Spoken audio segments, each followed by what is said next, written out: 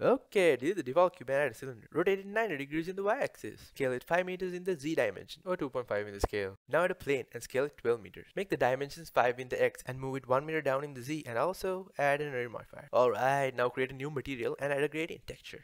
Add the texture coordinate and a color ramp and plug the object into the vector. Make the z rotation 90 in the mapping node and add a color ramp.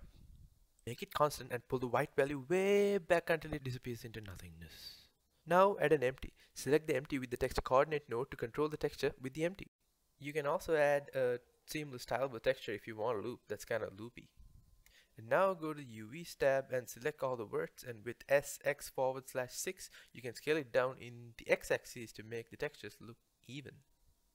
And color ramp, change the color, color ramp, add some bump, color ramp, uh, do whatever you want, no one's gonna judge.